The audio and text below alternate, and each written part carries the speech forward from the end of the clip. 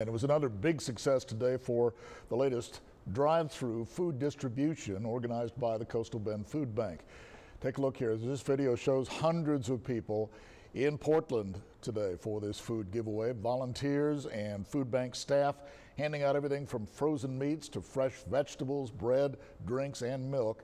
And they did it to anyone in need who has felt the impact of the pandemic. And clearly, there are lots of folks in need. We've we've been getting large turnouts, um, just like we had our largest turnout at La Palmera last week. Uh, the need is there. Uh, people are in need of food, so you know we did expect this, and we came prepared. The food bank was able to help about 600 families there in Portland today. Last week in Corpus Christi, the same group helped about three times as many families.